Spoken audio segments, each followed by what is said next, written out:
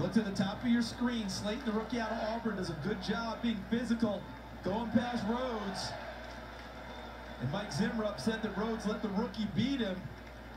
He's wondering if you're supposed to have had help there from the inside from Anthony Harris, but it's a nice job by Slayton getting up on top of Rhodes, and an even better job by Daniel Jones putting it out there. Mike Zimmer telling him to get it together. Sam, do you remember this spring? Mike Zimmer said to Xavier Rhodes, you need to play up to your contract. You don't often hear that from a head coach. It's another